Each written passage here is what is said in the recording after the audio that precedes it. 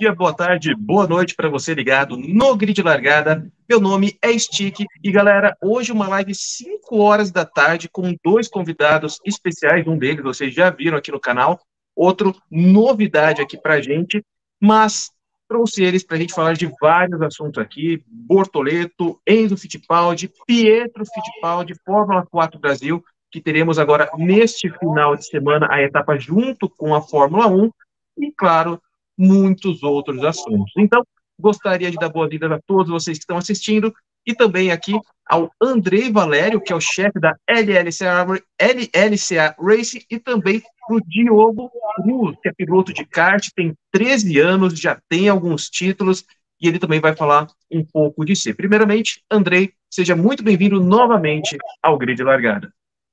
Boa tarde, Dan. Agradecer mais uma vez aí a oportunidade de estar com você aí na live e agradecer porque sempre que, que eu entro nas lives aí com você, você muda o horário para 5 horas da tarde aí para mim conseguir pegar essa diferença de fuso que hoje cai para 4 horas aí o nosso diferença de horário na Itália. E, e é sempre muito legal estar aqui com você e, e fazer parte desse grande bate-papo aí e trazer novidades aí para vocês e todos os assuntos que a gente vai conversar aí hoje. É, primeiramente, boa, boa tarde, pessoal, e assim, vamos falar agora um pouquinho sobre mim e sobre esses pilotos aí. Isso aí, Diego Cruz, seja muito bem-vindo ao Grid Largada. Vamos falar um pouquinho dele, pessoal, também, hoje, mas, primeiramente, vamos começar do assunto do dia, que todo mundo está falando, que a arte, no caso, anunciou o Zack Sullivan para correr na Fórmula 2, né? E tá todo mundo aí falando que o Bortoleto vai correr pela Virtuosa, inclusive com uma novidade que eu tenho que eu recebi, aliás, é um rumor ainda, estou apurando, já trouxe essa informação para o grupo de membros do Grid Largada, que é que a KTF vai apoiar a Virtuose, vai ter um nome ali, KTF Virtuose na Fórmula 2. Para quem está nos comentários, já está falando aí do Gabriel Bortoleto correndo por essa equipe, se é bom, se é ruim, mais uma notícia para vocês. Mas o que eu quero perguntar para vocês dois, tanto o Diego quanto o Valério, primeiramente você, Diego, o que você acha do Gabriel Bortoleto? Ele aí foi campeão da Fórmula 3 e agora talvez indo para virtuose na Fórmula 2. Você tem acompanhado a carreira do brasileiro? O que você tem achado de toda essa história do Gabriel Bortoleto e como você acha que ele pode ir na Fórmula 2? Cara, eu tenho acompanhado sim o Bortoleto, eu acho que ele é um piloto muito bom, vem se destacando muito, é campeão, igual você falou agora, da Fórmula 3, e acho que é um piloto que vai andar muito bem na Fórmula 2. Isso aí, muito bem. E você, Andrei? Você acha que o Gabriel Bortoleto na Virtuose é uma boa escolha para ele? Olha, a gente tem falado aí que, que essa mudança do carro aí vai ser meio uma incógnita para todo mundo. Então eu acho que, que, que, que, é uma boa, é tudo novo para todos, inclusive ali para ele, para o Bortoleto. Então eu acho que, que é legal e até uh, relembrando um pouco aí, né, o passado, uh, um período que nós tivemos uma equipe brasileira com um piloto trabalhando para levar ele à Fórmula 1 e ele chegou na Fórmula 1 que foi a equipe pequena. Então, se tiver um pouco, tudo bem que não é a mesma estrutura, que era pequena na época, tudo isso, mas se tiver um pouco dessa KTF da mão do Brasil e tiver essa transferência de know-how entre Europa e Brasil, já é extremamente bem-vindo e eu fico super feliz aí com essa notícia e que, e que venha mesmo KTF virtuose, mas que venha KTF, KTF genuína e não só a parte do patrocínio KTF, né? Porque é muito importante essa parte aí da troca de informações, dessa troca de know-how aí que sempre, sempre eu digo, e, e, eu acho que vai ser o campeonato ano que vem vai ser excelente e, e, e eu acho que vai ter um pega aí maravilhoso de Kimi Antonelli, que eu sou fã, e de Bortoleto, que eu também sou fã, e para mim eu vou estar torcendo para os dois ali como um maluco. É, eu concordo com vocês dois. Acredito que o Bortoleto indo para Virtuose, inicialmente eu achava que Virtuose não seria uma boa opção para ele. A equipe está em sexto no campeonato da Fórmula 2. Mas tendo em vista que deve entrar pelo menos um patrocínio ali de name rights da KTF, ou seja, KTF Virtuose, se for essa mesma equipe, não está nada confirmado, tá, pessoal? Não tem nenhuma informação oficial no momento, mas se for nesse, é, nesse estilo, eu acredito que vai ser muito benéfico para o piloto brasileiro, porque isso tende a tratá-lo como prioridade na equipe, como foi o Guan Yu na época que o Drogovic foi rolar. Então, assim como vocês, eu também acho que é uma boa opção. Aliás, para vocês que estão nos comentários, o que vocês acham? Tem gente aqui falando que acreditava que seria Prema, mas já anunciou que Miltonelli deve ser o Oliver Berman junto. A Arte também já anunciou o piloto. Qual equipe vocês acham que o Bortoleto vai correr? Digam aí nos comentários. Alguns já falaram, quero saber a opinião de, de todos os outros vocês. Tem gente aqui chegando na live. O Michael Douglas também chegando, o Ricardo Ribeiro Moretti. Boas-vindas. Boa tarde a todos vocês. Tem o Elaia Carponen também aqui chegando para a gente. Alexandre o Della, Della Plata, muito boa tarde para ti também. Quase eu falo boa noite, gente. Estou acostumado com o horário da noite, peço desculpa aí para todos que estão assistindo. Guilherme de Oliveira, também muito boa noite para você. Guga Boy, que é o moderador lá do, do Fittipaldi Brothers, seja muito bem-vindo. Aí você também à nossa live. E todos os outros, Elvis Silva, Gabriel Coller, tem o pessoal aí também que está no Japão assistindo, na Suécia assistindo. Muito obrigado a todos vocês e também a todos que estão apoiando o Diogo aqui na live. Tem a Márcia Rosa da Silva, o Marco Palma, tem o Dallas aqui também. Vou ver mais pessoas aqui. José Oliveira, Henrique Santos, Miriam Santos, muitas pessoas apoiando aqui. O jovem piloto de 13 anos, que já já falaremos dele, pessoal. Mas lembrando, se você está assistindo essa live e não é inscrito no canal, se inscreva, deixe o seu like, que ajuda bastante a gente, e também tem a nossa rifa. Últimos dias, pessoal, dois dias para a nossa rifa, que o sorteio vai ser na quinta-feira. Agora, continuando falando, falar aqui dos pilotos brasileiros que estão ali na Fórmula 2, já falamos um pouco do Bortoleto, quero saber a opinião também de vocês que estão nos comentários, qualquer coisa a gente volta nesse assunto, não tem essa de falou do Bortoleto, pulou para outro assunto, acabou. Não, a gente volta, não tem problema nenhum, galera. Mas olha, Enzo Fittipaldi, que está na Fórmula 2 atualmente e pode correr na Fórmula 2 ano que vem, negocia para isso, anunciou que vai sim testar com a Dale na Fórmula Indy. Isso muita gente já está dizendo que seria o melhor caminho para o piloto brasileiro. Vai, corre na Fórmula Indy, esquece Fórmula 1. Fórmula 1 é muito injusta, Fórmula Indy pode ter um bom caminho para você. Eu quero saber a opinião de vocês dois. Começando agora por você, Diogo. Você acredita que em Fittipaldi teria espaço hoje na Fórmula Indy e, obviamente, o que você acha do piloto brasileiro? Sim, eu acho que ele pode ter sim uma chance, né, de ir para essa, é, essa oportunidade agora que ele está indo. Calma aí. Oh. Ah, não. Gente, tem um problema aqui, desculpa. Se quiser completar, Diogo, não, acabei não escutando você, mas se quiser completar alguma coisa, fique à vontade. Cara, eu conheço mais o Bortoleto, né? Você tá falando dele? Ou de outro Ah, não, sem problema. E para você, Andrei? O que você acha aí do Enzo principal? Eu acho que eu torço pro, pro Enzo e, e para a Indy, porque para mim eu ficaria super feliz em ver dois irmãos Fittipaldi aí andando de novo numa categoria como o topo do automobilismo mundial. Então eu gostaria muito que, que a chance do Enzo ir para a Fórmula 1 existe.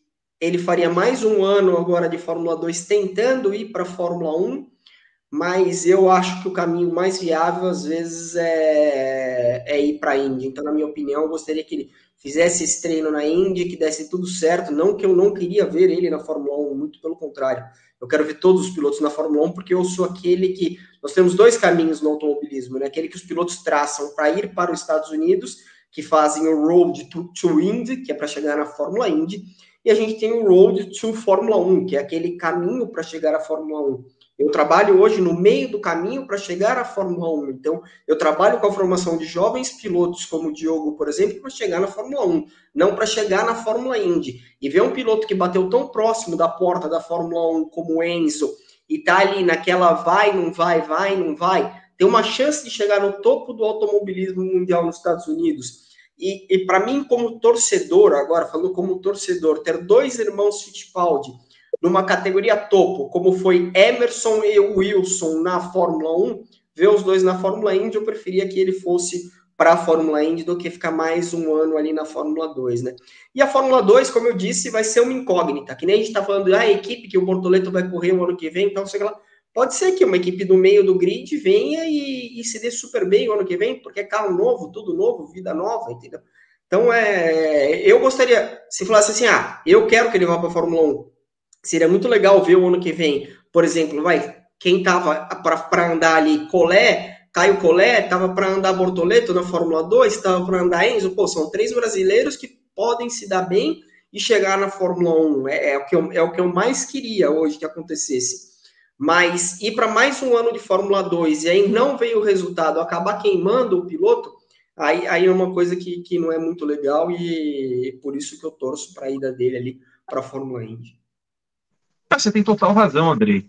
Essa parte do carro novo e ainda mais com o Bortoleto provavelmente tem uma preferência da equipe, com a Capep colocando dinheiro, fazendo uma parceria de name rights ali, de desenvolvimento, muito provavelmente com a Virtuosa. Então, é um bom ambiente no momento atual para o Gabriel Bortoleto. Isso tem total razão. E respondendo até uma pergunta aqui do Anthony Salamoura, pessoal, vocês podem fazer pergunta também, tá? Fiquem à vontade para realizar pergunta nos comentários. Ele fala, boa tarde, Dan, beleza? Uma dúvida que estou na minha cabeça. Se o Bortoleto vai para a Univirtuose, e agora pode ser KTF, Virtuose, um humor fortíssimo que está começando a surgir, o Jack Durham vai sair da Fórmula 2? Sim, o Durham já avisou que não faz mais Fórmula 2. Ele disse que não faz mais nenhum sentido continuar na categoria. O motivo que ele alegou foi que se ele continua e é campeão, vamos dizer que não fez nada mais do que esperado. E se ele acaba não ganhando o campeonato, vão dizer que é ruim e prejudica a carreira. Então, por conta disso, ele já vai procurar outros ares. Agora, sobre Enzo Fittipaldi na Indy, eu também acho interessante, mas eu vou passar uma informação aqui, Andrei e Diogo, e também para vocês que estão participando.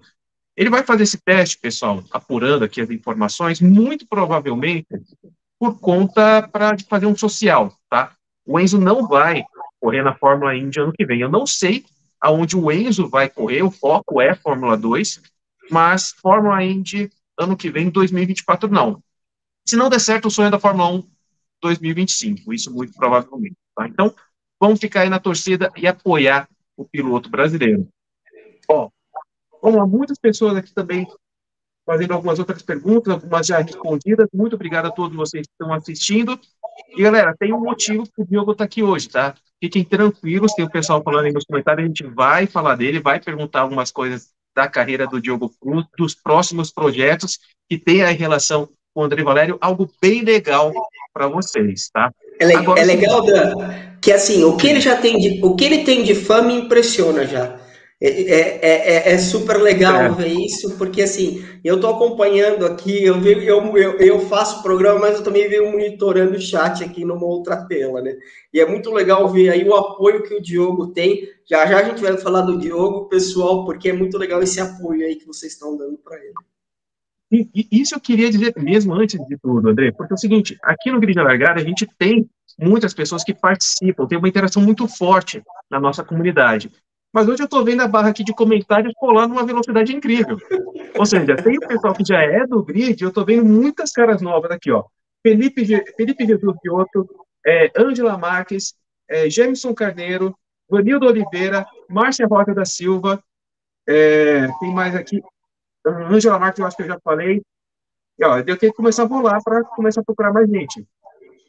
Tem aqui a Vanessa Ferreira, muita gente nova participando aqui. Sejam muito bem-vindos ao Grid Largada e muito obrigado pelo apoio de vocês ao Diogo Cruz. E, aliás, Diogo, aproveitando que está todo mundo aí falando de você, eu já vou perguntar, você falou do Gabriel Bortoleto, mas qual hoje é o piloto é, da base e também não da base qual você se inspira?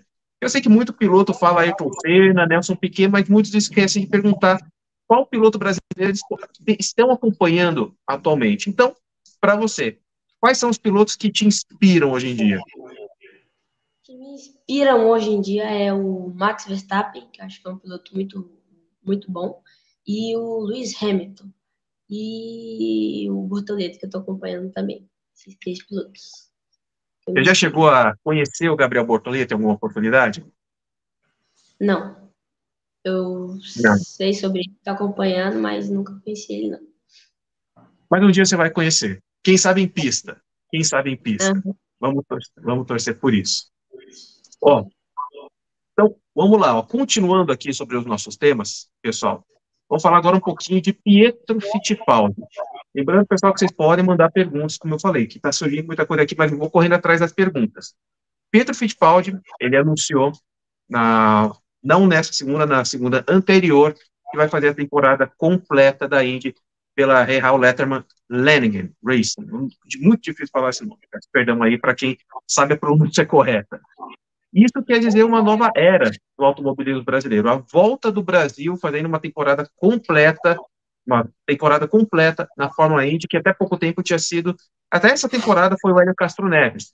Mas Hélio e Tony já são dois pilotos já da velha guarda, que já, tavam, já estão se encaminhando para aposentadoria. Tony já não corre mais na Fórmula Indy, Hélio só faz as 500 milhas, e o Pietro vem como um novo líder para essa garotada. Lembrando que ano que vem, 2024, em todas as categorias do World to Indy, que é o caminho para a Fórmula Indy, assim como tem o caminho para a Fórmula 1, teremos pelo menos um piloto brasileiro em cada uma dessas categorias algo que nunca aconteceu antes.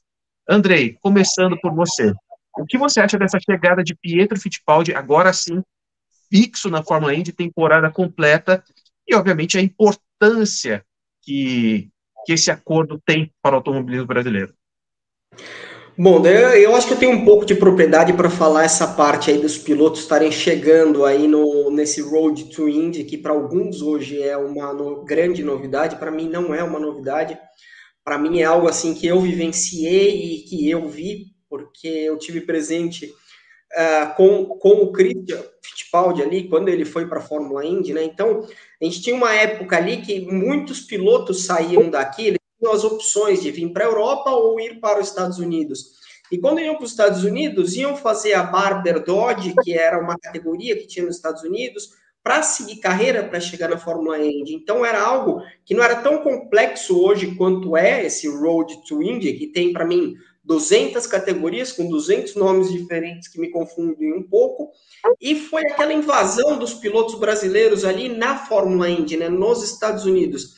E era um momento que eu vivenciei aquilo ali um pouquinho. Então a gente teve o momento do Marlboro Brazilian Team, que chegou com Elinho, Tony, uh, Walter Salles, Christian Fittipaldi, uh, Raul Boésio, uh, a gente tinha na época quem mais? Maurício Gugelmin, Emerson Fittipaldi. Você tinha ali um grupo chegando no automobilismo dos Estados Unidos que agora a gente está falando, ai, ah, está revivendo isso. Não, na verdade, quem sustentou essa base por um longo período foi só depois que todos saíram. Foi Tony e, e Elin que seguraram essa base por um período e aí caiu, hoje está voltando para o automobilismo americano. Por que está voltando para o automobilismo americano? Né? Está vindo para o automobilismo americano porque está tá tendo espaço, está tendo a oportunidade e está tendo a facilidade de ir por esse caminho. E os pilotos se modam conforme a facilidade que ele tem para se encaixar num caminho para chegar lá. Não é que a Indy é pior que a Fórmula 1, é diferente. Então, assim, ah, você é contra o automobilismo americano, Andrei? Eu já vi pilotos saírem do automobilismo europeu, eu falo isso direto, e se dá super bem no automobilismo americano. Quase todos. Agora, o caminho inverso, a gente conta nos dedos quantos fizeram e deram certo, entendeu? Então, eu acho que depois de um período na Europa, sim, é legal fazer o caminho da, uh, dos Estados Unidos. Mas se faz a escolha para ir para os Estados Unidos, tudo bem, não é um problema. Agora é uma invasão dos brasileiros de novo nos Estados Unidos? Eu acho que não, eu acho que é uma retomada. E é um lugar para os pilotos se encontrarem, serem profissionais, serem reconhecidos, porque assim, existem casos do Rubinho ir com o Tony num restaurante e as pessoas darem a máquina fotográfica para o Tony tirar a foto, para o Rubinho tirar a foto do Tony com a pessoa. E o Rubinho ficar, pô, mas eu sou piloto Ferrari. Por que, que eu tô tirando a foto do Tony com uma outra pessoa? Porque o americano é assim, entendeu? Então, é, tem muito esse momento dessa euforia. Não, porque agora o Pietro vai ganhar tudo na Fórmula Indy. Calma, gente. Ele escolheu um caminho que o tio dele traçou e foi excelente. O tio dele abriu um caminho no, na Europa. O tio dele, não, desculpa. Toda vez assim, o Emerson tem tantos sobrinhos, netos, primos, o, o neto dele agora, está uh, traçando o caminho que o vô fez. O vô abriu na Europa para pilotos brasileiros, e pilotos brasileiros entraram, e abriu nos Estados Unidos, e pilotos brasileiros também entraram ali. Então, é, é um caminho normal. Fico muito feliz pelo Pietro, porque chega um certo momento que você sendo piloto de teste de uma equipe de Fórmula 1, você, desculpa, super legal, bacana, tal, não sei o que, mas para quem gosta de sentar e acelerar, por exemplo, como o Diogo, não, eu também fui piloto, eu também gosto de acelerar. Chega uma hora que você fala, gente, o que eu estou fazendo aqui? Andando em simulador, entendeu? Sentando, não sento em carro, não faço teste, não faço nada. Então o cara enche e aí ele vai para correr na Indy, aí é muito legal, muito bacana, entendeu? Então, se a gente for ver nesse contexto, é, é, é super legal, mas passou o time da Fórmula 1 e eu acho muito difícil depois vir e voltar ali para a Fórmula 1. E, e, é uma judiação, porque são dois grandes pilotos brasileiros. Ele, os dois ali da família são excelentes e eu gostaria de ter visto os dois juntos na Fórmula 1. Agora torço para ver os dois juntos na Indy. Muito bem falado, Andrei. Mas agora eu quero saber de você, Diogo. Pietro Fittipaldi na Fórmula Indy. O que você preferia ver o Pietro na Indy, como foi anunciado, ele ainda como reserva na Fórmula 1, lutando ali por alguma vaga na categoria máxima do automobilismo, ou algum outro lugar? Onde você preferia que o Pietro Fittipaldi estivesse hoje? Ah, eu acho na Fórmula Indy, né? Como ele falou, que se fosse pra, para a Fórmula 1 já, ele teria andar de simulador e seria bastante bacana, né? Ele na Indy, que ia conhecer coisas novas e, e, andar e ia poder mais dirigir, não ficar muito só de teste. Isso aí, não ficar só nos testes. O que muita gente é. falava também. E, ok, ser piloto de teste hoje também é uma carreira na Fórmula 1, pessoal. Mas a gente, como torcedor, fica naquela, quer ver o piloto tendo sucesso, competindo, ganhando prova. A gente queria isso para o Pietro e, felizmente, agora vai ter. Ele vai estar lá em pista, temporada completa, uma categoria de topo. Ok, o EC também era uma categoria de topo, mas a gente sabe, brasileiro gosta mais dos Fórmulas mesmo, puxando Fórmula Indy, Fórmula 1, e aí é o destino de Pietro Fittipaldi. Olha, pessoal, 23 minutos já da nossa live, já falamos de vários assuntos aqui. Vamos voltar nesses assuntos também, caso vocês assim solicitem.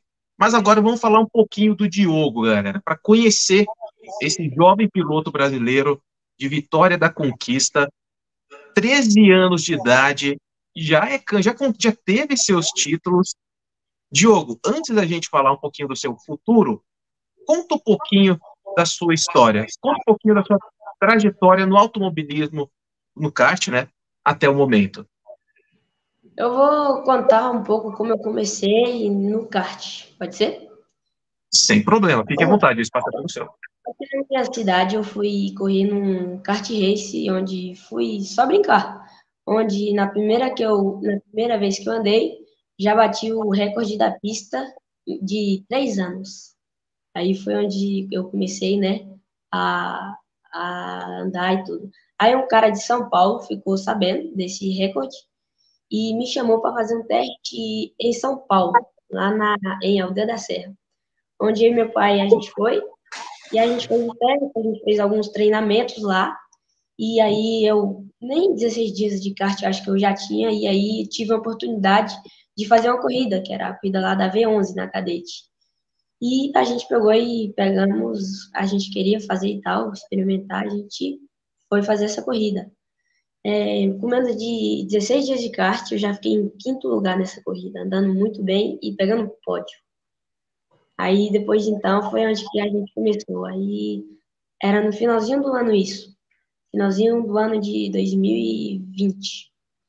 Aí a gente começou sério mesmo no ano de 2021, na Copa São Paulo Light de kart, onde na minha primeira corrida lá, eu já ganhei na minha categoria, que era Cadet Hook, e a gente começou com a liderança do campeonato, onde meu pai falou para mim, enquanto eu tivesse líder do campeonato, a gente ia se esforçar, tirar dinheiro da onde não tinha para correr. E foi então que eu fui ganhando, ganhava um, ficava em segundo na outra, terceiro, sempre estava ali e não e as 10 etapas sempre fui líder do campeonato, onde fui campeão pela primeira vez. E por aí não parei mais. Vim correndo, mudei de categoria, vim para F4 Júnior, né? Tô, andei bem também na F4 Júnior, no meu primeiro ano de kart. É, no segundo, já fui é, campeão da Copa do Nordeste, F4 Júnior. E agora fiz uma corrida aqui em Salvador, de Freitas, e fiquei em segundo. Fora as outras corridas que eu já fiz, né? Muita é, coisa. Várias coisas. Pra, pra uma... tudo aqui. É, ó, e você pode até dizer se eu tô mentindo ou não, pode me corrigir. Mas, ó, soube que você ficou, se eu não me engano, em sexto lugar, se eu não me engano, aqui na Copa Brasil de kart, na categoria até 15 anos. E soube que mesmo chegando em sexto lugar, você estava colocando pressão nos adversários à sua frente. Você confirma isso que eu estou dizendo? Corrige? O que você pode falar para a gente sobre como foi correr a Copa Brasil de kart? Brasil em 2022, onde eu estava andando de OK Júnior e F4 Júnior. Estava em duas categorias. Aí a gente estava ali, tinha 14 pilotos, a gente estava na OK Júnior, né? Em sexto e no da corrida a gente já estava chegando no quinto, mas quase deu. A gente estava andando muito bem na Copa do Brasil. Muito bem, então, piloto promissor aí, apenas 13 anos, pessoal. E já vou perguntar para você que também já mandaram essa pergunta aqui. Qual é o seu sonho maior no automobilismo? Aonde você quer chegar? O meu sonho maior, é, por agora, é chegar na Fórmula 1. Mas, por agora, é, se Deus quiser, fazer um Mundial e chegar à Fórmula 4. Hum, bem. Ó, até perguntaram aqui agora, foi o Henrique Santos, membro do canal, muito obrigado pelo apoio, Henrique. Ele falou, quais são os planos da LNCA Race para o Diogo até o Fórmula? Então, é isso que a gente vai entrar agora, pessoal. Porque o Diogo falou já um pouquinho do que ele pretende fazer daqui para frente, né? Mas isso tem muito a ver com o Andrei Valério também, da LLCA. Andrei, conta para a gente um pouco desse projeto em torno do Diogo. Quais são os próximos passos? que vocês vão seguir com ele. Não, vou contar um pouquinho assim a história que foi muito engraçada aí com, com o Diogo, que a gente estava no. Eu estava no Campeonato Mundial de Kart com o André, que é, que é um cearense que está vindo para a Itália aí para me dar uma força na equipe. Uh, no, nós montamos a equipe aqui, tá, a nossa equipe está funcionando já na Itália, com foco na Fórmula 4 italiana e, e em correr uh, corridas também de kart, né? E eu tava, uh, o André tá vindo para cá do Brasil para me dar uma força na equipe e ele veio um período para cá, a gente estava ali no, no, no, Campeonato Mundial de Kart, batendo um papo e tal, e, e, ele é muito engraçado porque é, é, é, é, é aquela. Você viveu um pouquinho o Vinícius quando corria na Fórmula Delta aqui dando entrevista para você, então eles têm lá a expressão deles de macho, né? Então ele, ele falava assim: não, macho, nós temos que pegar os pilotos do Nordeste, macho, e trazer para cá, macho. Porque tem, tem um menino lá, macho, o, o Diogo, a gente tem que. Esse menino. Aí eu falava, André, vamos fazer alguma coisa para trazer o Diogo. Você tá falando que ele é, é, bom assim? Eu acredito em você, tal, não sei o que lá. Mas você tem certeza que, que o menino dá, dá, certo? Não, eu acho que o menino dá certo sim. Eu acho que aqui o menino ia ser bom, tal, não sei o que lá. Bom, vamos fazer força para trazer, trazer o Diogo, né? Então, dentro do nosso projeto da, da LLCA, International Racing, a gente tem um programa que a gente lançou, que é o Drive Development Program. Traduzindo do inglês aí para o português, é um programa de desenvolvimento aí de pilotos. Então, a gente acha que a maior dificuldade que a gente vê hoje do piloto aqui na Europa, eu tenho falado muito isso, as pessoas não têm muito entendido isso, né? Problema chega um certo momento que dinheiro para fazer é difícil, é super complicado até para quem tem. Porque a gente está falando aí, a gente discutiu um vai para lá, o outro vem para cá, tal, não sei o que lá. Porque o Pietro não foi para a Fórmula 1? O que, que vai acontecer com o Enzo? Por que não chegou na Fórmula 1? Porque a grana chega uma certa hora, aperta para todo mundo. O calo é o mesmo. E o que a gente precisa começar a ter é um planejamento, é fazer um trabalho de planejamento. Então, muitas vezes, O piloto tá, tem que ser testado contra os melhores. É isso que eu tenho dito o tempo todo. Não adianta você pegar e dizer assim, não, é, o Diogo falou, eu quero ir para a Fórmula 1, quero chegar na Fórmula 1. Legal, Diogo, você vai chegar na Fórmula 1, é esse trabalho que a gente está fazendo. E o Diogo, uma coisa me emocionou, que ele respondeu para o pai dele um dia, é, Diogo, fala o que, que você falou para o seu pai, por favor, quando você falou para ele, quando ele falou para você que era difícil chegar à Fórmula 1. Eu falei que é muito, é, é, é claro, sim, é muito difícil chegar na Fórmula 1. Ele falou que chegar na Fórmula 1 é como ir daqui na Lua. E eu falei que a gente poderia sim chegar lá com Jesus Cristo. Então, assim, Dan, o, o, o foco de um menino como esse, é, ele não está vendo as dificuldades, os problemas. Quem tem que resolver as dificuldades e os problemas sou eu e o pai dele. Ah, é ele que quer chegar na Fórmula 1. Então vamos trabalhar a cabeça dele, vamos fazer um planejamento para ele, para ele chegar na Fórmula 1. Só que eu não, é, o Diogo tinha uma oportunidade de vir correr o Mundial por Deus não deu certo. Que bom, porque iam jogar o menino numa baita fogueira, entendeu? E às vezes queimar um talento que você fala assim, bom, não é o momento de, de fazer aquilo. Então a gente vem com esse trabalho de estudos, falando, não, vamos colocar as peças certas no momento certo, no lugar certo. Então esse é o nosso papel aí para, para o Diogo, né? Então a gente está trazendo o Diogo aí para a Europa para fazer uma etapa do Rock Cup Festival, que é a última corrida do ano, do campeonato de kart Rock, que vem todos os pilotos do mundo inteiro para encerrar o ano na Europa, já pensando na preparação 2024. Porque em fevereiro tem o Rock Winter, que é o campeonato de inverno da Rock, que é onde os pilotos vêm que já ganha, quem ganhar esse campeonato ganha um motor e ganha a inscrição do Mundial do ano que vem. Então você fala, bom, é, já começam-se as coisas com um planejamento, né? Então o Rock hoje é um campeonato que é no mundo inteiro, que é para você iniciar fora do Brasil. E aí muitas vezes pega o menino e já joga o menino num, num mundo, numa etapa do mundial, aonde não tem ainda a preparação. Quando você vem para cá, por exemplo, a gente brincou aqui antes de entrar no ar com, com, com o Diogo. Diogo, quantos graus está aí, tá aí na Bahia? Tá quente. Ele está acostumado a andar com um tipo de pneu, com um tipo de pista, com tudo isso. Chega aqui, as mudanças acontecem e eles se perdem, eles são muito novos. Então, tem que aprender, tem que aprender. Então, essa, a gente pegou o Diogo exatamente para isso, para mostrar assim, Diogo, a gente vai trabalhar você e vai fazer um trabalho para te levar para frente. Então, a gente tem um planejamento já para o Diogo traçado, que a gente vem conversando com o pai dele, que é exatamente isso. Eu vim para cá agora fazer essa etapa, conhecer o Diogo e fazer o Diogo ser visto no cenário mundial de kart, através de uma equipe de fábrica, que é a nossa parceira, a CKR. Então, ele vem para ele vem para cá para isso. O ano que vem, a ideia é que o Diogo faça todo o campeonato de rock, mais quatro etapas do europeu e o mundial. E aí você prepara ele para fazer um campeonato fora do Brasil de kart. Ele já, ele já fez o que ele tinha que fazer no kart aí. E ele vem preparado para fazer isso. E ele já vai estar com 14 anos. Aos poucos, já inserindo ele, por exemplo, vem na oficina, vem conhecer o Fórmula 4, vem ver o Fórmula 4, vem ver a parte mecânica de um Fórmula 4, vem acompanhar a gente num teste de Fórmula 4 para ver como funciona um teste de Fórmula 4.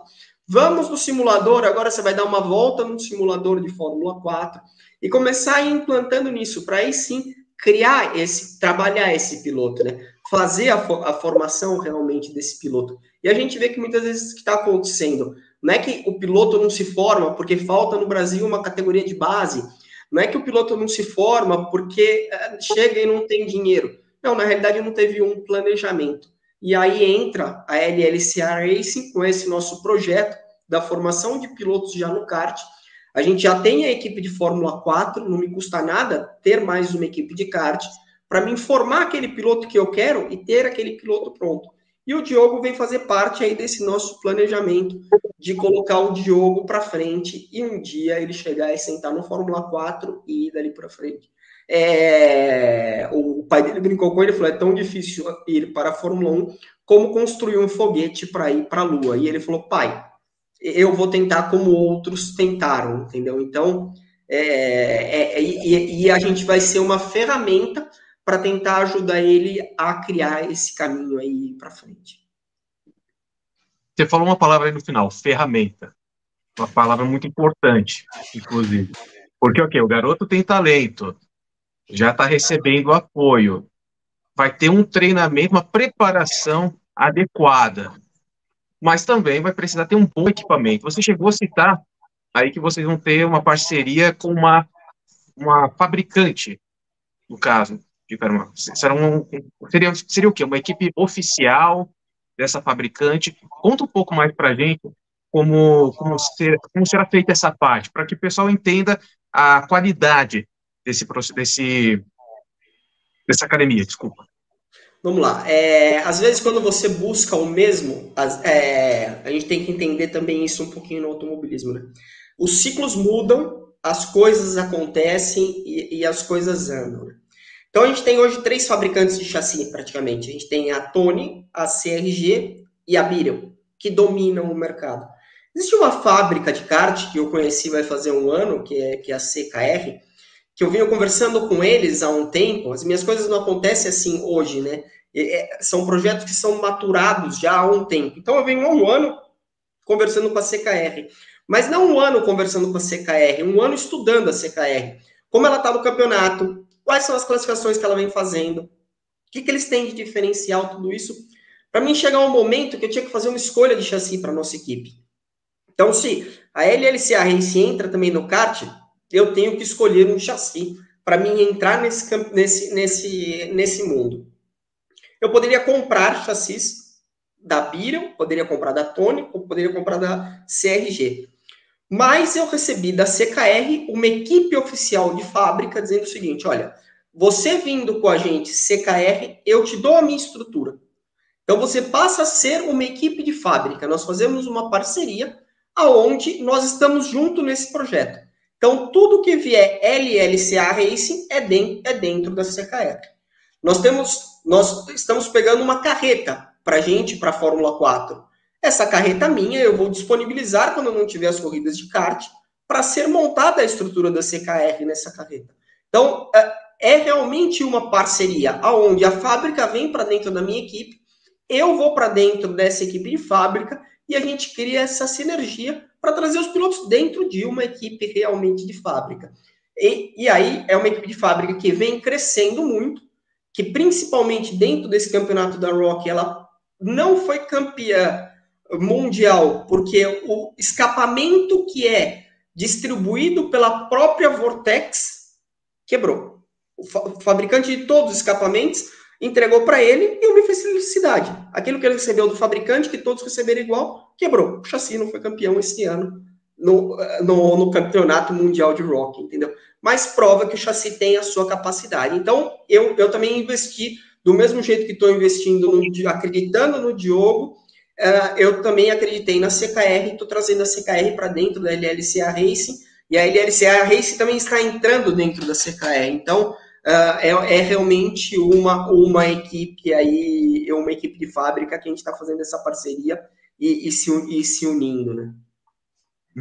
Audrey, tem até uma pergunta aqui que mandaram para a gente, foi para explicar como funciona a classificatória para um piloto como o Diogo chegar na Itália. Acredito que seja a classificatória desse campeonato que você acabou de falar para a gente. É, eu, duas coisas aqui que é a, a classificatória, né? Existe o campeonato, eu não sei se as pessoas estão falando, estão trazendo assim para a gente como que eu faço para poder fazer parte desse programa de desenvolvimento de pilotos aí da, da LLCA Racing, né? Vamos falar sobre, sobre os dois aqui, que é interessante. Primeiro, existem alguns pilotos que a gente já está analisando. Então, é, tem um outro piloto aí da Paraíba, que a gente já começou a bater um papo com o pai, que a gente está fazendo um trabalho ali para tentar trazer esse piloto, porque a gente viu que ele. Uh que, que ele, na verdade, ali a gente está trabalhando para tentar trazer ele ele para cá também. Então, tem alguns pilotos que, que a gente está de olho, que a gente analisa para trazer, como foi o caso do Diogo, veio como por um olheiro, vamos dizer assim, nosso, mas também uh, qualquer piloto que, tá, que vem até mim e fala, eu queria saber como funciona, a gente está dando as dicas, dizendo, olha, a gente acredita que a fórmula do sucesso seja essa, a mais correta seja essa daqui no momento para você começar. E a gente está dando esse apoio E, e, e, temos custos diferenciados hoje para isso, tá? Para tentar fazer isso no começo aí para esses pilotos com custos que não são absurdos e que consiga viabilizar a vinda de um piloto para a Europa. Num campeonato desse, como funciona a classificação, né? Num campeonato desse, por exemplo, às vezes no, na última, no último campeonato da. Agora, na última corrida da Rock, na final da Rock em Lonato, que teve, uh, tiveram 440 pilotos. Então, se você tem baterias com mais de 35 pilotos, você divide as baterias, tipo todos da categoria do Diogo. Se tiver 120 inscritos, você divide em baterias de 35 e fazem os classificatórios. E aí os 35 melhores vão para uma super final e, da, e, e dali sai o campeão como com um campeonato aí normal aí, aí de kart, onde tem diversos inscritos. Né? Muito bom a explicar como funciona o classificatório, tanto para o campeonato, tanto inclusive para se quiser participar desse programa da LLCA Racing. Já, se tem algum piloto assistindo, tem o sonho de correr na Europa, se preparar corretamente, depois, pessoal, é só entrar em contato com o Andrei. Agora, Diogo, tô vendo que você tá bem calminho aí, tá tranquilo, escutando o Andrei, mas vamos falar um pouquinho de você também, porque uma coisa me deixou curiosa, que reparei há pouco tempo, pouco tempo aqui na live. Você está com o número 212, um número que, obviamente, você prefere. Qual é a história por trás desse número? Por que você escolheu o número 212? Vamos lá. É, quando eu comecei no kart indoor, eu comecei no kart de numeral 12. Só que quando eu fui para o cartódromo, né, aqui, oficial de conquista, na, já tinha uma pessoa usando esse número.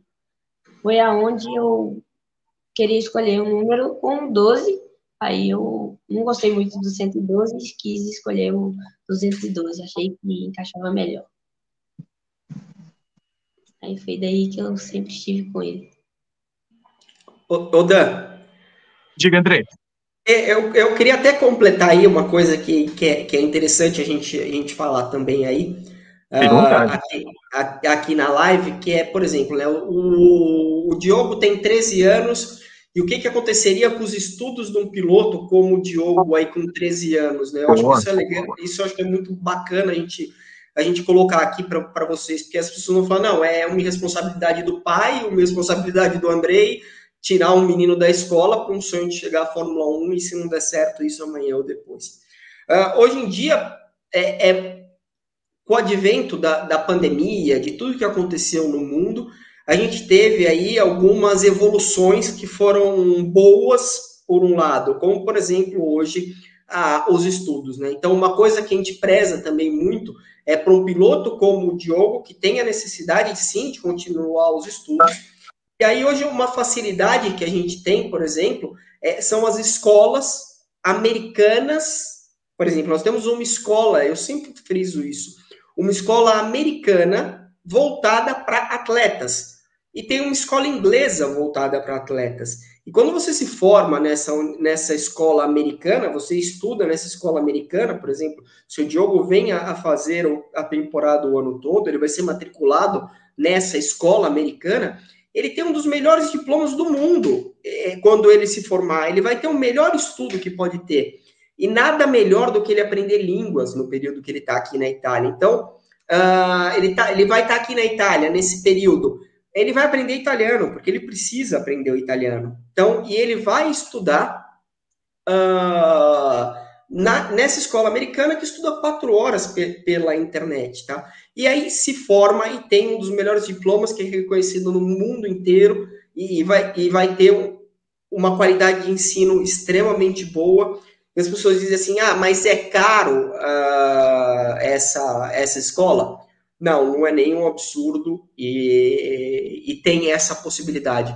Então não vai deixar, como muitos outros em outros programas aí falam toda hora, não, o piloto tem que ficar no Brasil, porque no Brasil ele não perde a escola, ele não deixa de ir para a escola, tal, não sei o que lá. Não, com a gente ele também não vai deixar de ir para a escola, não. O Diogo não vai achando que vai ter a vida fácil. Olha a carinha dele. Eu tô indo para a Europa, vai ser, vai ser festa todo dia. Não, não, não. Aqui, aqui, aqui pesa um pouquinho mais do que lá no Brasil.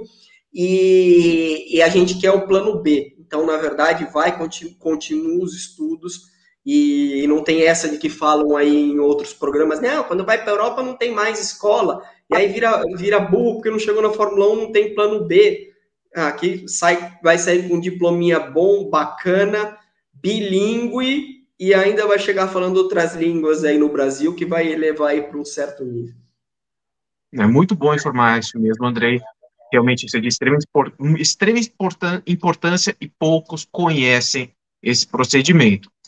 Agora, pessoal, nós vamos continuar também falando do, do Diogo aqui na live, mas vamos voltar um pouquinho para os assuntos anteriores, que tem gente perguntando aqui. É, falaram aqui do, do Bortoleto, falaram do Enzo, falaram do Pietro. Aliás, em Bortoleto, pessoal, talvez já tenha algum anúncio no GP Brasil. Lembrando que a, o Banco BRB e a Alpine devem anunciar a academia de piloto deles aqui no Brasil, no GP Brasil, então todas as informações devem sair é, nesse final de semana. Então, algo do Bortoleto, talvez alguma coisa relacionada ao futuro dele, também saia neste final de semana. Então, vamos ficar ligados, principalmente aí, talvez, a parceria da KTF com alguma equipe. Então, vamos ficar nessa, é, prestando atenção, porque pode surgir esse anúncio, pessoal, é um rumor que começou agora.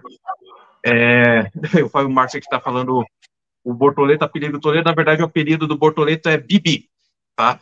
Isso Caio Colete disse em entrevista aqui na live, a gente não sabia na época, acabou divulgando o apelido dele, de Bibi aí para todo mundo, e acabou não manchando, obviamente, imagem do Bortoleto, mas fez a risada, fez a graça de muitos daqui que, a, que acompanham a base.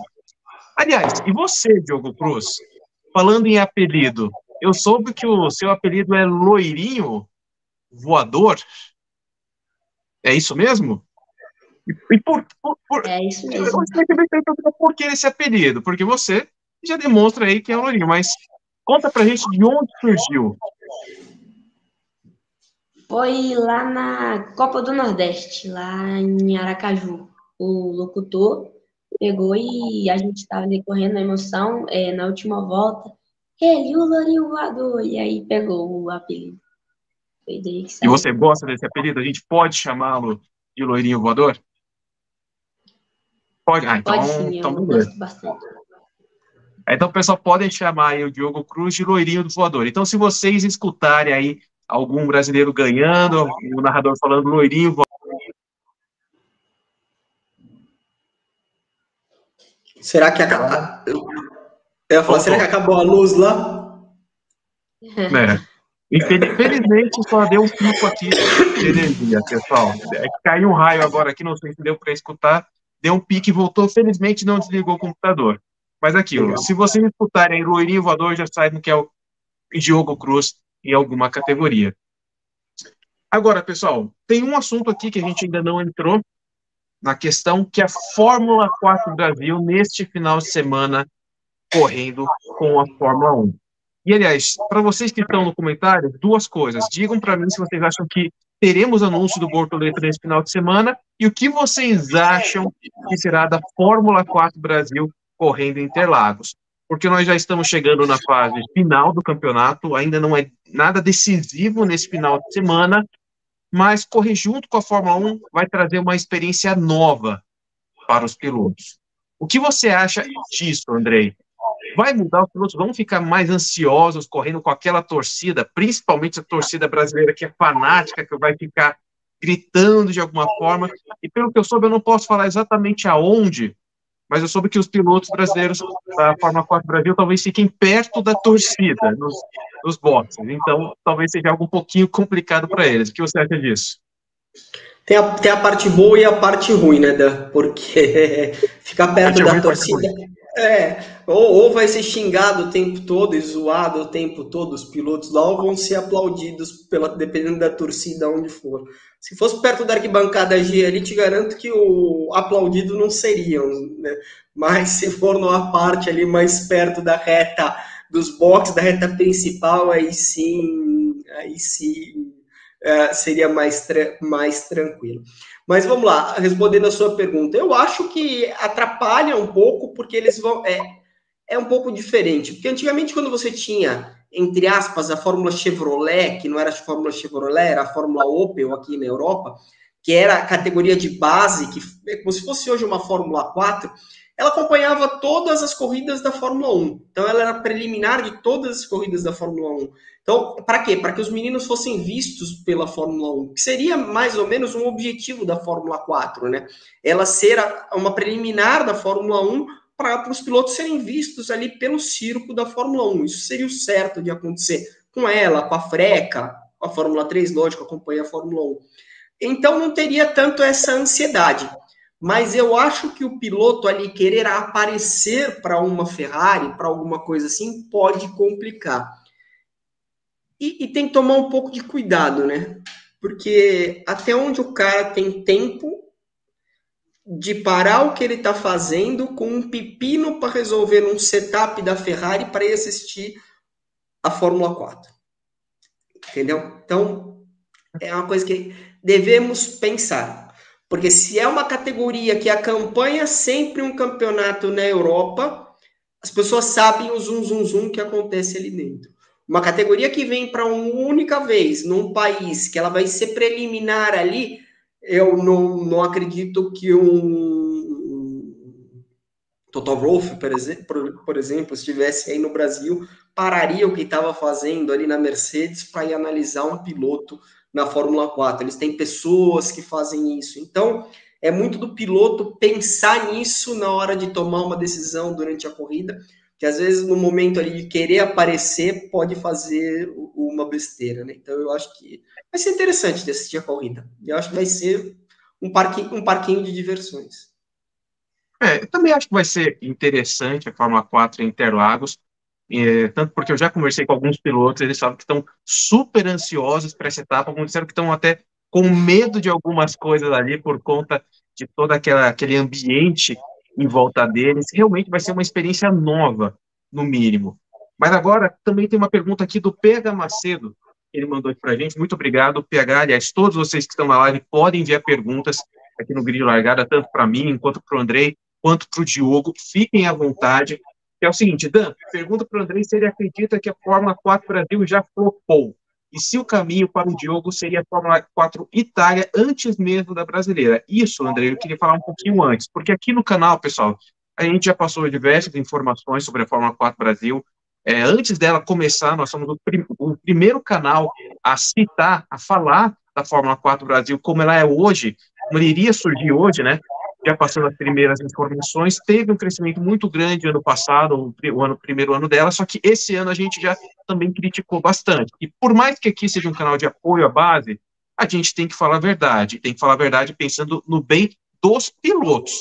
Categoria a gente também apoia, mas principalmente os pilotos. A Fórmula 4 Brasil, ao, no, na visão do grid de largada, ficou devendo um pouco essa temporada, chegou até o ponto de ser preocupante. Tanto que o Pega Mateiro já pergunta para você: já flopou? E qual é o caminho para o Diogo? Pretende fazer uma Fórmula 4 Brasil antes da italiana ou direto para a italiana?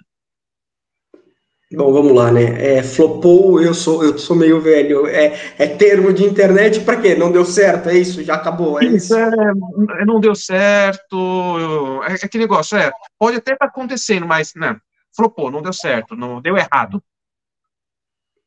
É, aí é ponto de vista, ponto de vista de cada um, né? Acho que a gente tem que ver assim, quantos carros tem no grid e quantos carros tem no grid da Fórmula 4 italiana. Quanto é, é, é, essa resposta que eu, que eu quero dar de comparação aí das categorias. Ver a quantidade de carro que tem largando, ver a quantidade de carro que tem largando na outra, e aí dá para você tirar sua própria conclusão, o que é uma, o que é outra, né? A nossa proposta da LLCA Racing sempre foi que o piloto ele tem que fazer dois anos de Fórmula 4. É, não é, é, o que eu estava falando, o Diogo está vindo para cá para aprender. Ele tá vindo, a expectativa é muito grande que aconteça nesse, nessa corrida dele da, da Rock aqui, sim, é muito grande. Mas desde o momento que ele pousar e descer do avião no aeroporto, já é uma experiência nova, ir para a pista é uma experiência nova, tudo isso tem que ir somando a ele com 13 anos para chegar lá na frente. E aí, pensando nisso dentro da Fórmula 4, tem que fazer um ano para depois fazer um ano melhor. E a nossa proposta da LLCA Racing na Fórmula 4 italiana é para que seja o primeiro ano do piloto na Fórmula 4 italiana seja a base de entrada. Mesmo porque nós temos praticamente o mesmo custo da nossa categoria na Itália que a categoria diz que custa no Brasil. Então, é, é, é na realidade, a entrada para o piloto aqui, ele vir fazer a Fórmula 4 italiana conosco, em vez de fazer a Fórmula 4 no, no Brasil. É, é esse o, o, o nosso trabalho para que ele não tenha que fazer um segundo ano aqui e um terceiro ano e acabar repetindo sem ter necessidade. Então, essa, essa é a nossa busca hoje por pilotos e a nossa equipe está dentro de, desse patamar. Então, uh, não para o Diogo, mas para todos os pilotos, a ideia é trazer para fazer sim um primeiro ano de Fórmula 4 italiana já no Brasil, sem passar pela Fórmula 4 Brasil. Eu sempre digo que a gente tem uma categoria aí no Brasil que, para mim, é, os pilotos deveriam passar sim de Fórmula, que seria a, a, a Fórmula Delta, e essa é uma categoria que eu acho que tem a necessidade de ter no Brasil. E eu acho que a Fórmula 4 tem um ponto ali dela se posicionar, o que, que ela quer ser no Brasil e onde ela quer estar no Brasil para daí sim fazer o, o, que, que eles querem fazer. Então, é um momento interno deles, eu não tenho muito a, a, a ver com isso, mas é, eu gosto de responder como eu respondi aqui, às vezes até desculpa, deu um pouco grosso, mas ah, tá. vamos olhar os dois grids e aí os dois grids dizem por si só e cada um tira as suas próprias conclusões, porque senão sempre vai parecer que eu não quero que dê certo, eu fico metendo pau na Fórmula 4 Brasil, não é, desse jeito você consegue tirar as suas conclusões e, sab e, saber, e saber o que fazer. E nós somos uma opção para aquele que não quer fazer a Fórmula 4 Brasil, não quer gastar duas vezes, ele gasta uma vez só conosco aqui e vem fazer e vem fazer já de cara a, a Fórmula 4 italiana. Então é esse aí o, o, o, nosso objetivo e é esse trabalho que a gente vai estar tá fazendo. Agora, eu queria fazer uma, uma pergunta aí para o Diogo, posso, Dan? Fique à vontade. Se prepare, Diogo. Diogo, se você tivesse a oportunidade, vamos lá, é, de ter uma corrida de kart, aonde vai estar sentado na arquibancada todos os preparadores da Fórmula 1, tipo, todos os chefes de equipe vão assistir o Diogo correr de kart. E ele vai correr de kart com os meninos na idade dele. Sim. Você iria com a faca nos dentes pro tudo ou nada? Ou você faria uma corrida de cabeça?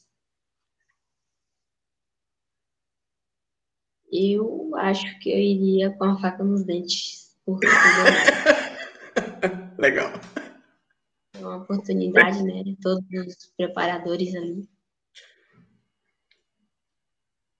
É, é o, que, o que adianta você, digamos, demonstrar o campeonato inteiro que você é um grande piloto se quando é o, o olheiro o chefão ali chega para te olhar, você não demonstra tudo aquilo que você fez, né? Então, vai com a saca do dente para cima. O que você achou disso, Andrei? Eu acho que é, é, é, a resposta seria os dois, unir os dois. Porque muitas vezes você ir com a faca nos dentes, você acaba a sua corrida na primeira volta, na primeira curva da primeira volta. E aí você, não mostrou, na, você não mostrou nada para ninguém.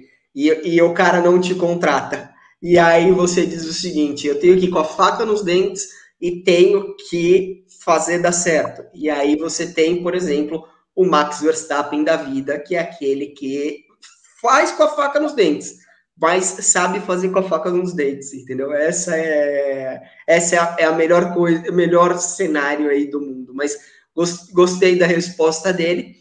E essas respostas a gente faz para os pilotos eu gosto muito de, assim, é, com os pilotos no simulador. E a hora que eu chego no simulador, eu sou engenheiro de pista, eu fui mecânico, eu sou chefe de equipe, eu fui piloto.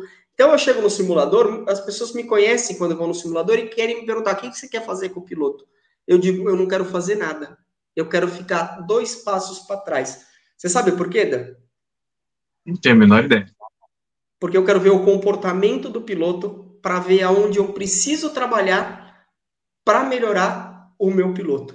Então foi ótima a pergunta para o Diogo, porque eu já fiz a pergunta para ele, querendo saber a resposta e já sabendo o que, que eu preciso trabalhar já no Diogo para que as coisas deem certo, entendeu?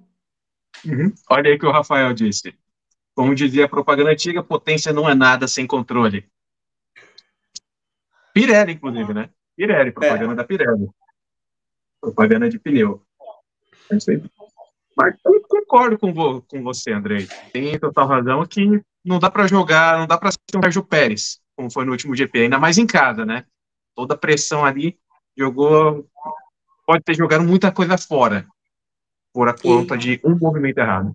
E se os meninos da Fórmula 4 brasileira, pensando que são preliminar da Fórmula 1, e que tem que mostrar alguma coisa, e que vai pro tudo ou nada na primeira freada do S do Senna, você sabe quem vai adorar isso?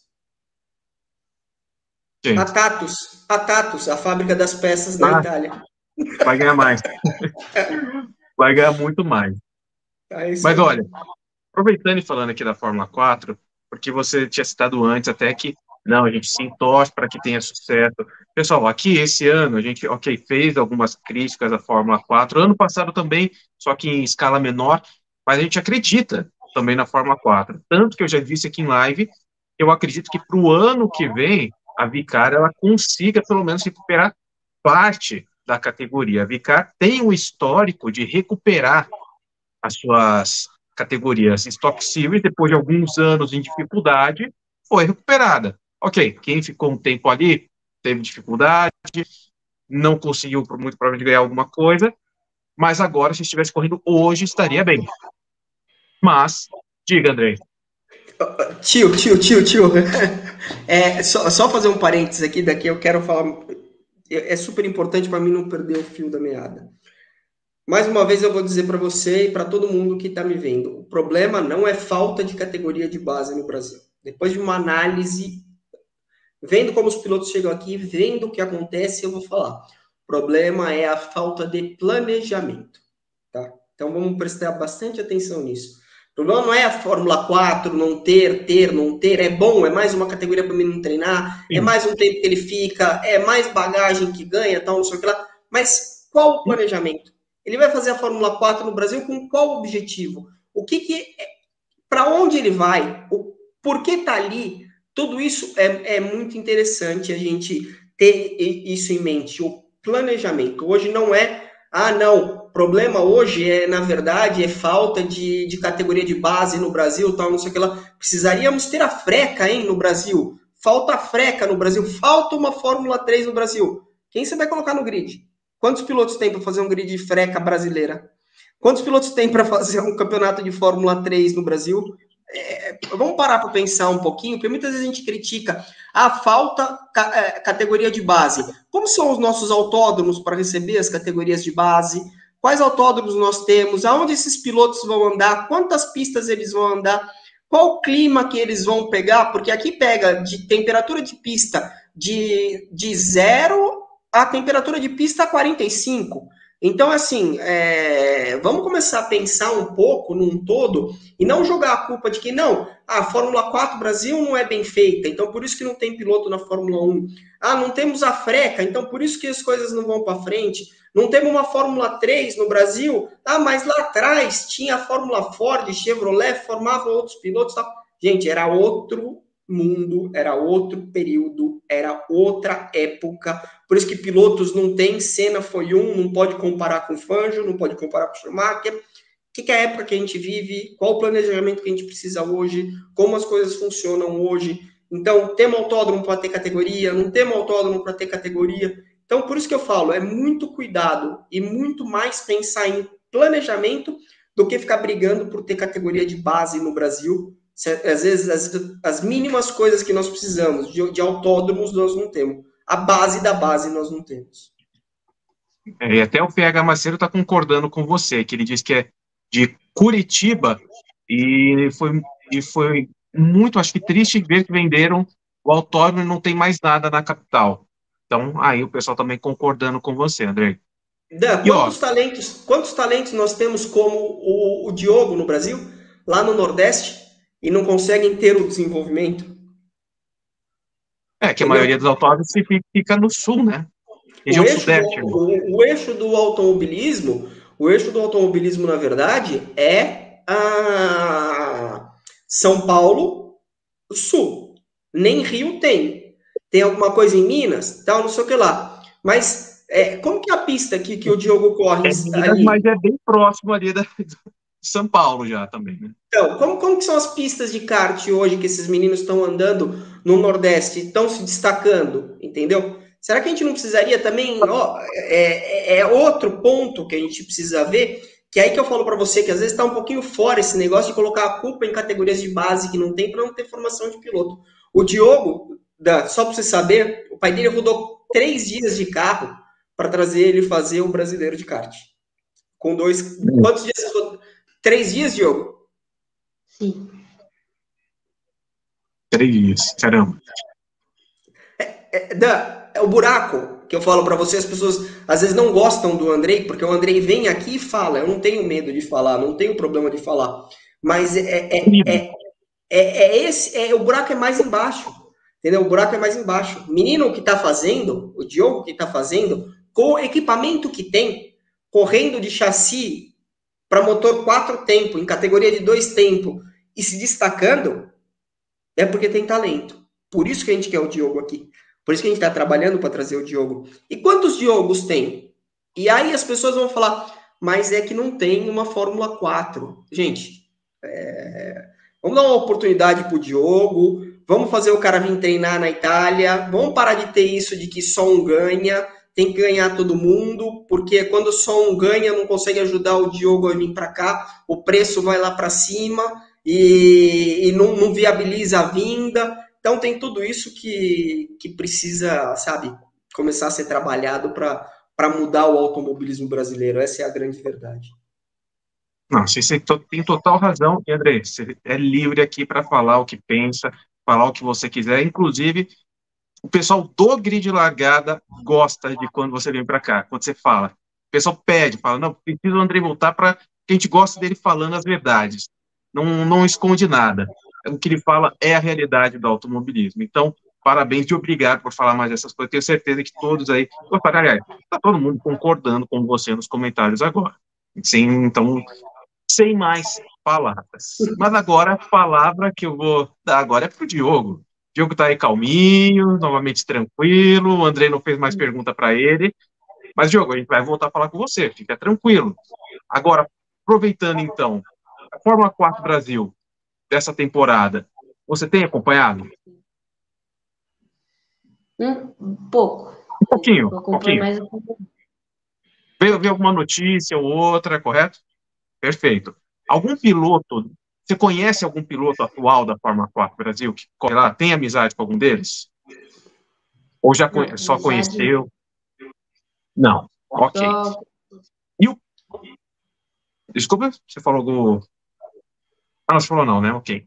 Agora, como você, você se imagina, não, obviamente não na Fórmula 4 Brasil em si, mas você já se imagina num carro de Fórmula, num carro de Fórmula 4? Que isso é até uma pergunta que mandaram aqui pra gente, agora deixei passar o nome da pessoa, peço desculpa, mas perguntaram isso. Pergunta se o Diogo, ele já se imagina dentro de um Fórmula 4. Sim, já me imagino no Fórmula 4 já. Tem hora que tem, eu tem minha vida, como é que é o volante. Eu já entrei em um, né? Que eu tava, uma vez eu tava com etapa de light e pegaram uma demonstração de Fórmula 4 e levaram lá para os pilotos entrar dentro. Foi muito bacana. Pelo visto, você gostou bastante, já está esperançoso para entrar num carro desse. Agora, seguinte, você vai para a Itália. Sim. O que você mais espera quando chega lá? Quando você pisar seu pé na Itália, o que você espera encontrar quando chegar nesse novo país, nova cultura e tudo mais? Espero me adaptar bem com as coisas novas, kart novos, pistas novas, se adaptar bem rápido, rápido até. E é, que eu é, povo, né? E eu espero ir bem lá, nos treinamentos principalmente. Já comprou um casaco? Tenho bastante. Bastante. É, vai ter que usar todos de uma só vez, né, Andrei? É, é, é, é, é engraçado, acho que eu estou mais ansioso do, do que ele para ver ele aqui.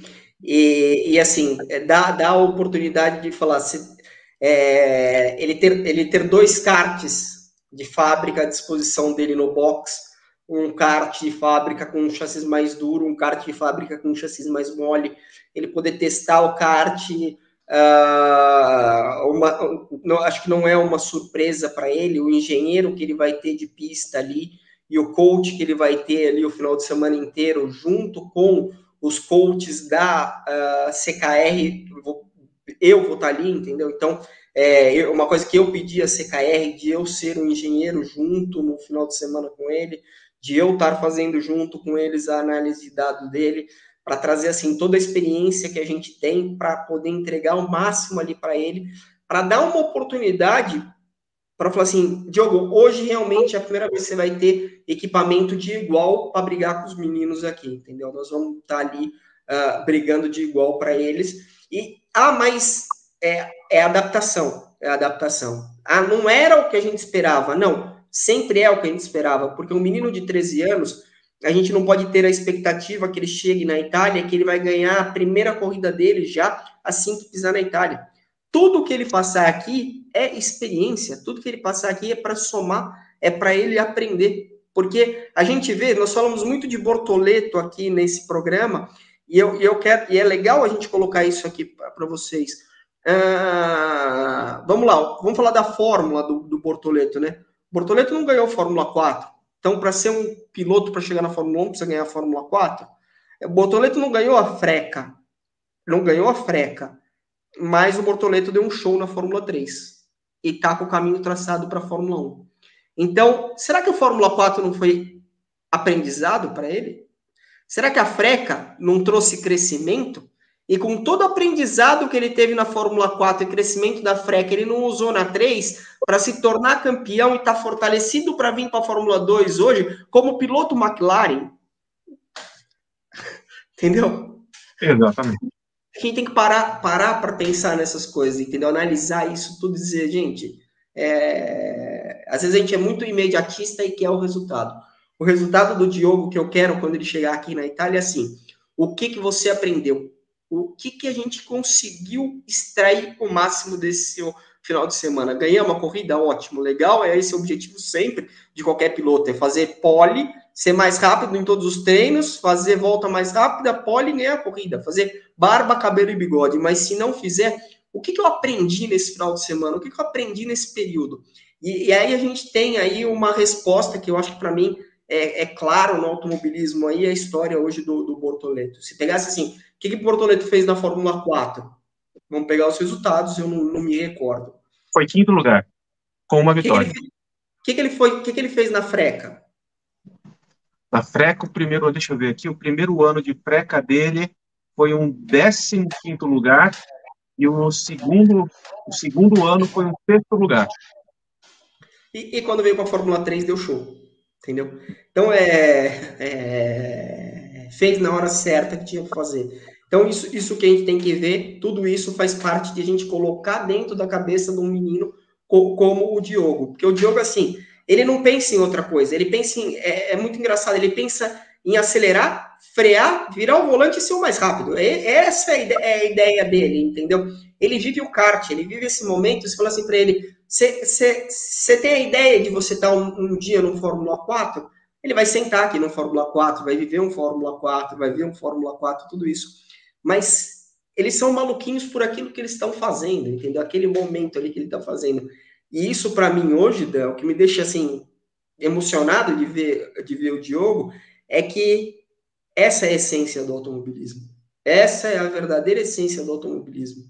Não, não aquela do menino que está ali no kart, mas está preocupado com o iPhone 15, que tá, tá bravo porque tem que estar tá de macacão, tudo isso, tal, não sei o que lá. É legal ver o Diogo empurrando o kart. É legal ver aqui na Europa os meninos ajudando o, o mecânico a trocar pneu, entendeu? Então essa é a verdadeira essência aí do, do. Concordo com você, André. Galera, pessoal, estamos chegando aí a uma hora e 14 minutos de live. É, eu vou abrir espaço aqui tanto para o André quanto para o Diogo falarem suas respectivas palavras finais aqui na nossa live, mas para você também que está nos comentários, faça sua pergunta sobre qualquer um dos temas que a gente falou hoje, faça pergunta do Bortoleto, Pietro, Enzo, que após os dois aqui falarem as suas declarações finais, eu vou ler sua pergunta. vou começar, inclusive, com uma pergunta que já mandaram aqui, que o Pedro, Pedrox mandou, que ele chegou agora, que no caso aí, eu vou responder aqui rapidinho para vocês, que ele falou que no andar da carruagem Bortoleto vai para Virtuose, fez essa pergunta. Não seria a pior opção? E respondendo para você, Pedro, não seria a pior opção, não, tá? Tem Charus, que é a pior opção, tem a Campos, que eu também considero uma opção pior. A Virtuose, hoje, considerando apenas ela, é uma opção intermediária, mediana. Ela normalmente consegue dar condições para um piloto. O segundo piloto, ela já tem um pouquinho mais de dificuldade. Então, o Bortoleto, se ainda entrar com patrocínio, name rights, ele vai ser o primeiro piloto da equipe. Então, ele está muito bem situado. É só ver o Jack Durham que ele fez nas últimas temporadas. Foi muito bem. Bortoleto, para mim, tem muito mais talento que ele. Então, acredito que pode sim conseguir alguma coisa. Então, aproveite agora para você que está na nossa live, faça a pergunta que logo depois das declarações finais do dois, se tiver alguma pergunta, eu coloco aqui a gente responde para vocês, ok? Então, começando por você, Diogo, fique à vontade para agradecer quem você quiser, familiares, patrocinadores, toda essa torcida gigante para você nos comentários. Enquanto eu estiver falando, eu vou colocando aqui o que o pessoal tem falado de você, tá? As mensagens para você, pessoal te dando os parabéns. Então, fique à vontade. O espaço é seu agora. Diogo Cruz, do carro número 212, o loirinho, é, loirinho veloz. Eu acho que foi, acho que é isso mesmo, né? Ou estou confundindo, Voador. mas voador, desculpa, ó, tô confundindo já, pessoal. É que é, é a idade minha, peço perdão, mas fique à vontade para falar suas declarações finais, Diogo. Vamos lá, eu vou falar um pouco agora das minhas perspectivas. São muito boas, estou treinando bastante, é, focando bastante aqui. E minha expectativa é chegar aí, igual eu falei, se adaptar rápido e acelerar bastante. E eu quero agradecer aí todos os meus patrocinadores que estão me ajudando bastante, o meu, principalmente o meu pai, que está fazendo o impossível para eu correr aí. E o Andrei também, né? Que está aí dando apoio ajuda. Quero agradecer a todos eles. Isso aí. Muito obrigado, Diogo, pelas suas palavras. Andrei, fique à vontade para suas declarações finais. Dan, só passou uma pergunta ali que, que a gente acabou não vendo, que perguntaram ah, o seguinte. Uh, do Matheus, espera só um segundo que eu já te falo já. Uh... Qual horário? Matheus Ventura, algumas corridas, algumas categorias correm no início do ano, por exemplo, a Fórmula Regional Ásia, Fórmula 4 Emirados Árabes, Toyota Racing Series, e a Fórmula, se a Fórmula 4 corresse nesse período, não ia conseguir mais, mais pilotos? Uma uh, Fórmula Regional Sul-Americana, no caso? É, é, é essa, essas categorias, assim, os pilotos, como a gente tem esse problema de daqui a Europa ter um inverno assim muito brusco, né? As categorias fazem nesses países, mas mais por conta de verba, porque esses países ajudam financeiramente por causa de turismo, de tudo essas coisas. Então, eles acabam fazendo o investimento para fazer uma, uma pré-temporada ali com os pilotos, vai, vamos dizer assim, para colocar os pilotos ali para pré-temporada. Poderia fazer, eu uma vez conversei isso com a Fórmula Delta, disse para a Fórmula Delta, ó, o período de dezembro a fevereiro, vocês ficam parados que não tem nada. Por que não fazer quatro corridas para o pessoal vir de fora treinar aqui com vocês, entendeu? Fazer uma, um momento ali de uma, de uma season, né? calor no Brasil, que legal, vamos conhecer o Brasil, tal, não sei o que lá. Pega ali, faz quatro corridas em quatro finais de semana, um mês, e, e, você consegue fazer isso. A pessoa vem e faz isso. Eu acho que seria interessante, acho que é uma saída. Tem que ver se, se, se, é, se é viável para o organizador fazer isso. Porque, por exemplo, essas categorias que você disse, elas acontecem naquele momento e acabam, né? Então, a Fórmula uhum. 4 Emirados Árabes tem aquele campeonato ali que é, que é aquele período e, e ele acaba. A Prema manda o carro para lá, as outras equipes mandam os carros para lá, acontece o, o campeonato e aí volta. E aí você tem só uma pré-temporada mesmo para treinamento dos pilotos para depois começar a temporada europeia. Então, poderia ser uma saída assim para o Brasil eu acho interessante isso eu já salientei uma vez aí com o pessoal da Fórmula Delta de tentar fazer de tentar fazer isso que eu acharia interessante a gente ter essa oportunidade para ter pilotos de fora andando no Brasil. É isso aí. Tá aí a palavra de André Valério. E aí tem o Rafael Caio B também. Não sei se já foi falado, mas se tratando de um garoto de 13 anos, como fica a formação escolar? Ah, já, já falaram sim. Tá, Rafael? Já falaram aqui da formação escolar. Então, qualquer coisa, volta um pouquinho que o Andrei falou bem dessa parte dos estudos, tá? Então, é, dá, depois volta, acho que foi cerca, deixa eu ver aqui, uns aos 40 minutos de live, ele passou essa informação, então qualquer coisa depois é só botar que você vai saber direitinho como será esse procedimento que o André explicou muito bem. Mas, pessoal, novamente, obrigado aqui pela participação de todos. E Vilton Faustino, que está ficando agora, dizendo que o Bortoleto não vai longe, vai longe sim, tá? Se for o primeiro piloto ali da Virtuosa, mesmo não sendo aquela equipe que a gente mais desejava para ele, preferia uma Prema ou uma Arte, mas ele fazendo um bom trabalho, sendo o primeiro piloto, ele consegue sim. Não vamos ser negativo, não. Vamos ser positividade aí, com, não só com o Bortoleto, mas com todos os pilotos da base. E, pessoal, agradecer a todos vocês que participaram. Lembrando que nesse final de semana tem Fórmula 4 Brasil com transmissão oficial do portal High Speed. Estarei lá fazendo os comentários. Lembrando, para quem é novo aqui no canal também, se não se inscreveu, se inscreva, deixe o like. Nós aqui, o Grid Largada, procuramos dar apoio à base nós somos o maior canal com foco no automobilismo de base do mundo. Então, se você quiser se juntar a nós, está convidado, participe, vamos fazer crescer ainda mais essa comunidade. Então, pessoal, para vocês que estão aí, novamente, meu muito obrigado. Apoie a base e aquilo. Quer apoiar o Diogo Cruz aí no automobilismo daqui para frente? Quando ele chegar no Farm, pode ter certeza que vai ter conteúdo dele aqui quer apoiar os outros pilotos brasileiros da base, então venha com a gente. Se posicione você também no grid largada. Muito obrigado, pessoal. E lembrando, ainda tem a nossa rifa aí na descrição.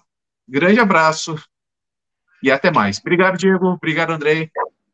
Tchau, pessoal. Obrigado. Um grande abraço e boa noite aí para todos. Tchau, pessoal.